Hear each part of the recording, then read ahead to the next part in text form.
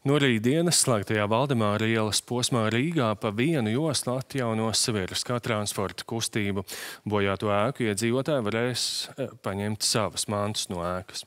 Bet plaisas pat lielākas nekā namu sienās jau gadiem pastāv starp būvuzraugiem, apsaimniekotājiem un īpašniekiem. Izrādās jau 2018. gadā kāds aktīvs iedzīvotājs informēja būvvaldi par drūpošo fasādi. Jā, un bija jāpiet pieciem gadiem līdz pat trauksmainajai sestdienas naktī, kad kad bīstamības dēļ mājas bija jāatstāja visiem to iedzīvotājiem, lai sekot rīcību. Un plašākais skins reportāžā.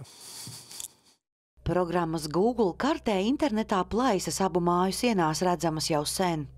Jau 2014. gadā ir redzamas plaisas.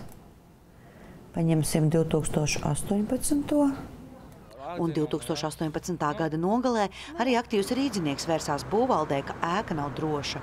Es ejot uh, Arī ēku Rīgā valdē Marālā 119 pamanīja, ka tās fasādes rada apdraudējumu cilvēku drošībai. Un es nolēmu neklusēt, uh, informēt Rīgas būvvaldi.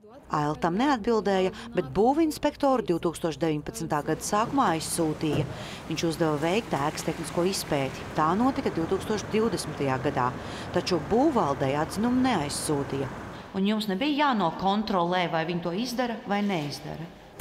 Tanī gadījumā, kad pie mums nonāk šis te tehniskās apsakošanas atzinums, kurā ir konstatēta bīstamība, būv, būvvalde paši vai pašvaldība pieņem lēmumu par bīstamības novēršanu. Tātad jau pirms trim gadiem bija atzinums, ka ēka ir bīstama.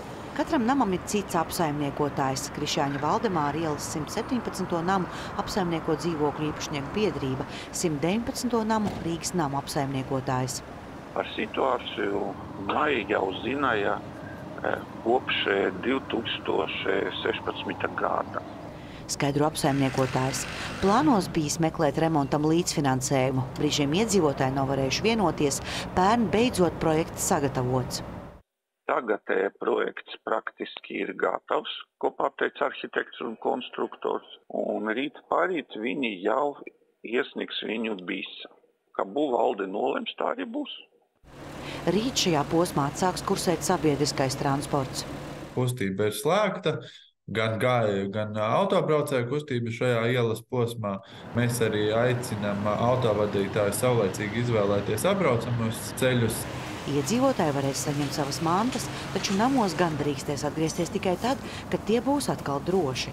Aija Kīnce, Jevgenija Kopīlova, Mikola Bastanžījevs, Latvijas televīzija.